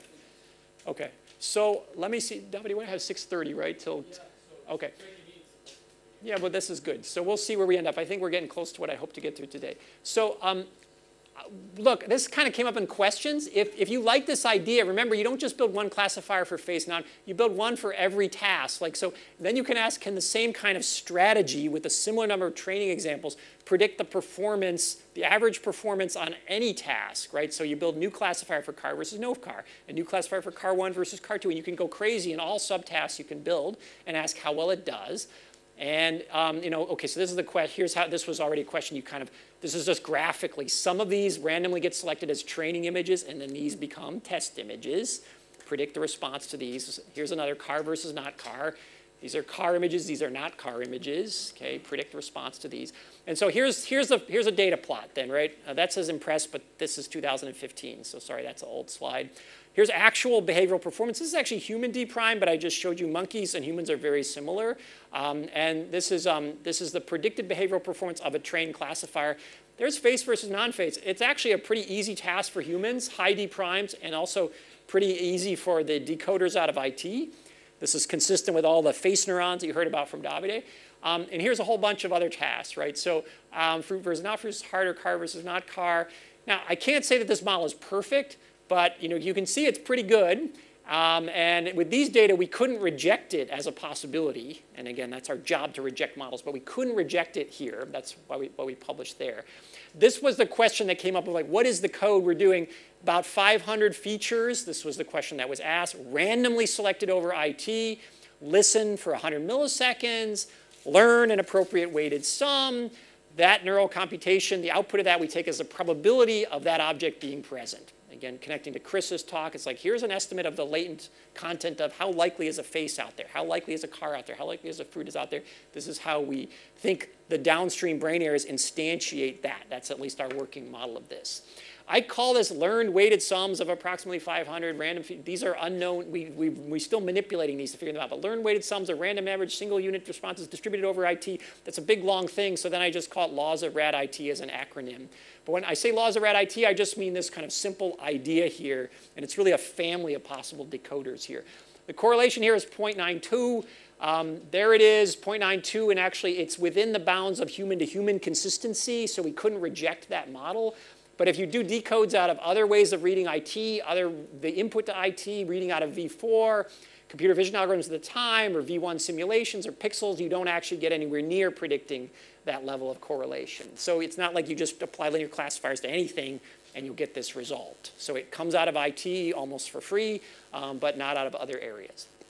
So the summary of what I'm trying to tell you here is that you think of IT at the top of the ventral stream, you got these population patterns that we measure, and we can take an approximately linear linking mechanism to say this can reasonably predict this. Actually, we couldn't reject it at this kind of grain of resolution. Um, that's what's in these, both of these papers, uh, if you want to read more about that. If you care, these parameters are actually important if you want to do things like turn, you know, brain-machine interface, zap some IT neurons, turn them on and off. I may talk about that on the last day if we have time, but if you, if you want to predict what will happen to behavior when I mess with IT neurons, then you need these details of these parameters to be correct, to make that work well. Um, so these are important to aficionados. Um, for all of you in this group, I just want you to kind of end this part of this lecture to just say, look, Jim tells me there's a really powerful feature set up there, and all I need to do is take linear combinations of it, and I seem to predict all the behavior that we thought was interesting. And that's the summary. IT feature set is the penultimate product of the brain's algorithm. I say algorithm, not mechanism, because of course there's more synapses, but it's like one algorithmic step away from completeness, again, one linear classifier away for core recognition. It explains this gap, as I already mentioned. So this gap here, um, it, it can explain why this is so good relative to that, because these features are magic and powerful. We didn't know how to produce them, but we could measure them. Um, and um, I think I had a few slides on untangling here. Let me just pause here for a minute to just see to make sure if there are any more questions before. I'm going to give you guys a conceptual picture before we end. Yeah. Yeah. So uh, your framework is not uh, is not constrained uh, to having uh, simultaneously recorded neurons, right? So you're not in principle. Say that again. Not constrained. You're not constrained. Uh, you, you don't have to use simultaneously recorded. Data. No, not this framework. Right. So, uh, so you're not We, we have tried it with we've tried it with shuffled and unshuffled data because as I mentioned these were simultaneously recorded. We, we don't actually see any difference when we do that. So yeah, yes. My, my question was, um, so uh, how, so I guess you, you picked five hundred neurons here, uh, how much, I guess, gets, like, I guess the decoder gets better, like, uh, superhuman? Yeah, the, fi- the 500 comes from matching the accuracy level. So what, I have a cool plot of that. The way it looks like this is, we have two actual, I didn't put that plot in, but you have two actual um, things that we're trying to hit, which is, one is the, um, one is the so-called pattern of performance, which is, you can think of it as the, the kind of error pattern of which tasks are good and which are bad. And the other is the overall like percent correct right? And I often like to joke and say, this is what DARPA wants. They just want you to be super accurate. Like this is, let's say this is human. They want you to be super accurate. They don't care if you have a pattern like human. This is kind of what, you know, NIH usually wants us to explain which, find the neural mechanism that matches the pattern and don't care about performance. What we want is to be up here, right? So the, as you add more units, it kind of goes like this. You, you actually get to here, and then you start ramping up like that. And you cross that point at around 500. But it's only about 150 to get to this within pattern thing. And again, these are features because I'm averaging over many repetitions. Does it get worse as you, as you keep on increasing the number of? Uh, does it get worse? So now we're getting into like kind of like overfitting, like kind of linear classifier. I have some plots on that. I, I don't have, I, uh, it didn't in our hands up to some point. Um, yeah, sorry, I'm not, I have slides on that I could pull up, but I'm not really, I don't remember the answer to that, when it gets worse. Or- Yes. No, a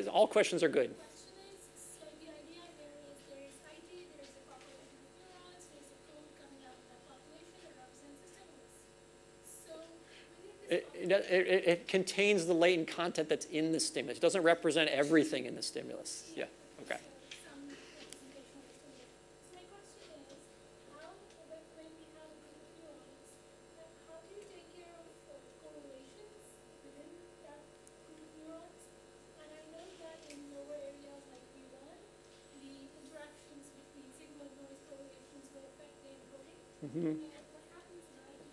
Is there, is there some kind of trade-off? Well, okay, so correlations. So the way, what you mean by correlations is that if I took two IT units and I looked at their pattern of response over many images, they're not going to be independent, right? They're not going to be uncorrelated, for instance. That's what you mean by correlation? Yes. Okay, I'm, I'm washing out the noise correlations, right? So I, so let's take the noise correlations offline, and I sort of averaged over them and said, forget the noise correlations. They don't seem to matter much to us. It's sort of related to this question there. I'd love to talk about that with you guys at any time. But let's talk about the signal correlations. It's like, what are we doing with that? All I'm doing, what I, the way I like to think about this is like, we as building decoders, we're like trying to pretend we're downstream brain areas are like, I don't know what the heck's going on here. I'm a monkey. I got to get juice. I got a bunch of wires coming at me from IT, and I got a reinforcement signal. So I don't know. Some scientist says I should worry about correlations. I don't know what a correlation is. I got a bunch of neurons coming at me, and I build a classifier, right? So, so I'm kind of trying to instantiate something that might be close to what the animal's actually doing. And so when it says 500, I think if we had a clever, when we, this is kind of what I'm trying to say, if you had a clever decoder that could sort of align with the true underlying dimensionality of the space, you could get away with less if you, if you, if you had that built in, right? So that's, I, that's how I think about that as a sort of like they exist, but you just, who cares? I still build my classifier and it works. Yeah, but exactly, but that's why we're giving you an empirical estimate. If you just sample randomly, you need about 500. If you sampled non-randomly, you could get away, you can get away with less. That's kind of what I'm trying to say with, but, but then you'd need a mechanism in the brain to say, find that neuron and that neuron and, you know, you'd have to build in more smarts. So that, that's actually where the interesting questions come as machine learning meets neuroscience to say, do we have pre-built face decoders? This kind of came up, I think, at the end of one of the other talks. Do we have pre-built other ways? Uh, How smart is the downstream circuitry, right? I'm kind of making it sort of dumb. It's just a linear classifier. And when I make that dumb thing, it kind of works. So I'm like, maybe that's kind of all it does when the monkey learns things. And I can't reject that yet. Um, but I'm agreeing with you, a smarter version would, could get away with less stuff. If it, and we could try various versions of that. And then how would we tease them out? We'd have to do things like maybe they make slightly different predictions on which images will be confused, right? There, there's probably ways that we could decouple them. You know, these are like alternative decoding models. And, and, and, and we think we, we can now we have we can't do that at this grain because again this simple thing is passed so many things actually pass the test I showed you here but it, maybe with image grain data we can tease apart these things better and that, that's kind of the data I'll show you on day three so I resonate with the spirit of your question and, and you just haven't done everything that you would like there yet Does that answer? Yeah. Um, okay, one more in the back, and then we should try to wrap up the. So I was wondering regarding the timescales, uh, you said it's hundred milliseconds and you need to achieve this performance with linear classifier, right? Uh, yes, this was with 100 millisecond data, but you can get away with less. Yes. You, you have trade-offs of SNR kind of things, right? So, so this again will come up in day three when we look at finer time bin. Just for the grain of behavioral data I showed you, which is like how good are you at cars versus like on average. That, that's pretty easy to fit with many combinations of IT reads, but not with V4. The same question as last time, right? So you're asking the time version of this. You were kind of asking the sort of spatial decorrelation question, and you're asking the time version. These are both great kind of code space questions that, that we haven't fully answered yet. Let me just, um, and maybe one quick one. uh, Still need a comment, not a question, so don't worry. Yeah. Uh, uh, I'm just thinking, would, would we, this whole analysis output, uh, in a sense, if, if, for example, we build long-term memories for, for monkeys, would that have like a major significant influence, show that Well, again, I, I don't mind. To me, all, all models should be on the table, right? I, I'm not trying. I, I guess I don't want you guys to think Jim's coming up here and saying this is the way it works. I'm an I'm a, I'm an empirical scientist, so my job is to try to falsify models, and I'm having a hard time falsifying this simple one. So the models you guys are coming up with are more interesting and probably also consistent with the data. So it's like which experiment is going to distinguish among these memory versus not becomes like yeah, build it, and maybe we can figure out how to tease those out with a cool experiment right? So that, that's what we're supposed to do. I want to beat up my own model, right? This is, just, I'm, I'm not an advocate of the model. I'm just like, here's a model that works so far. And our job is to then break it and find, because it's probably not right, but um, it's a good enough approximation at the moment. But really, that's, I'm not going to talk about that much, maybe unless we get to day four, I mean, to the end at day three. I mostly am going to want to talk for the rest of the time about what's going on to get you these good feature sets. That's what I'm trying to set you guys up for. I'm trying to sing these magic features. I want to give this conceptual picture because people really seem to like this.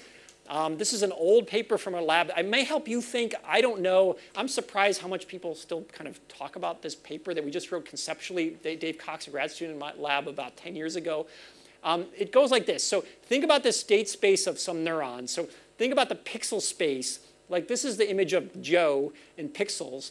And here's all the activities of retinal ganglion cells now, right? So these are not IT neurons, so these would be in the retina or pixels if you like. And so it's, again, one point in this space.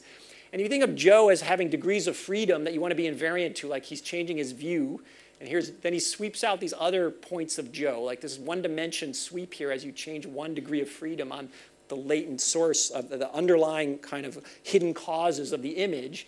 And then you can imagine that's two degrees of freedom. So over those two degrees of freedom, those are all the potential points that Joe could produce sort of schematically in this population space. You guys with me so far? You guys get this? These are all the, he's not actually showing you all those images, but that's all the possible images are two degrees of freedom. Now, imagine he has position and size, and you can add more degrees of freedom. The thing is, you have this curved, kind of complicated manifold of possible points that Joe, an object, let's call it one object, I'm going to talk about another one, Sam, or some other object, can produce. And what you want is to have a feature space where somehow you can say, well, here's Joe and not Joe, or Sam, and you know, Joe's manifold and Sam's manifold, the potential manifolds are cleanly separated. Somebody asked, can you perfectly do this? Cleanly separated so that you can take simple decoding tools like separating hyperplanes like I just showed you. And if you can do that, then you would call this an explicit neural representation of Joe versus not Joe. And you can do this for all possible objects. And Davide uses this word explicit earlier as well. This is our version of explicit, like linearly decodable to some level of accuracy. And I'm showing you this because it kind of you know, and that sort of linear classifiers, positive downstream has already said that. Should be able to find low number training examples that came up in the discussion. I'm talking about shape, and I'm, I'm being vague about shape and category and identity as being cl closely related. But the reason um, this is useful to think about is if you, this is actually what it looks like in the pixel space of two objects. This is projected in three dimensions. So these things aren't actually fused, but they're just very complicated manifolds. They're crumpled up sheets of paper that are kind of intermixed with each other, and it makes it hard to find separating hyperplanes.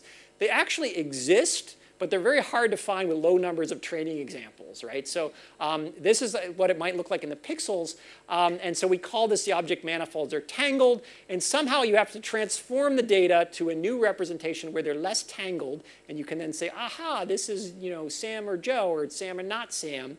And be able to put a hyperplane in there. And I'm showing you this not only to show, to kind of give you a graphical version of how we think about what's going on here, but also to remind you that we don't throw away, and Davide mentioned this also, all the other latent content like position and scale is just unraveled here. I didn't collapse this to two points.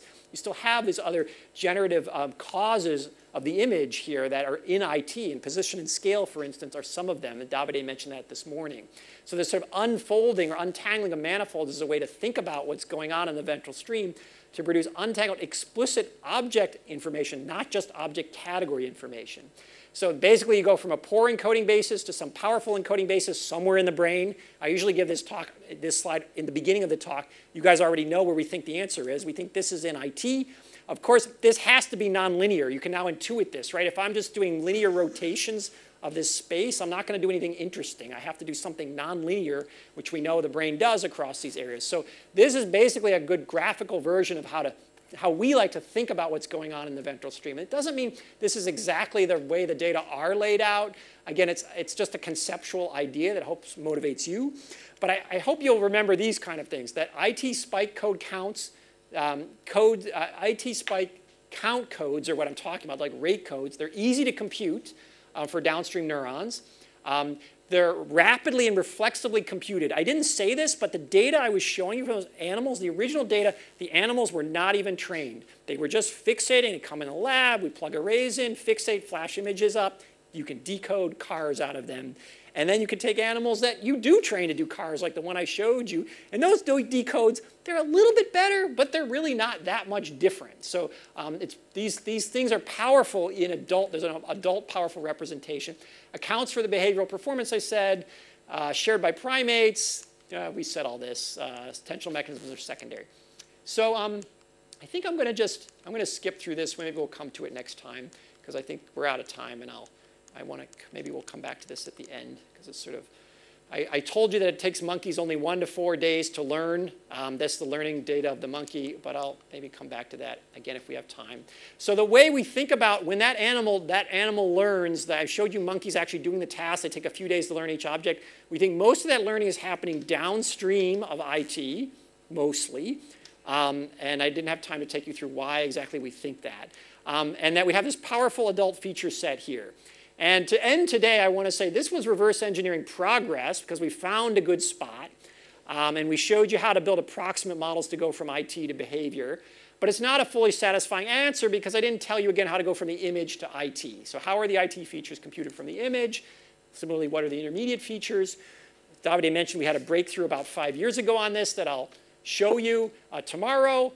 Um, and then there's a bunch of related questions that I'll just leave you with to think about, like, well, how are the IT features evolved and developed and learned? I'm not going to talk about that. Um, how can we manip manipulate IT to change perception? I'm not going to talk about that, or maybe if we have time. Why does IT have a patchy organization? I referred to that. Um, we think we can explain that, but I wasn't ready. I'm not going to talk about that. Again, these are things we can talk about on day three, depending on your interest. But I'm going to spend tomorrow talking about this thing, like what's going on between the image and IT, and maybe some of the other related questions. So I think that was the end at 6.30. So I think, um, you guys, I'm happy to hang around and take more questions, but thank you for putting up with me. Yeah.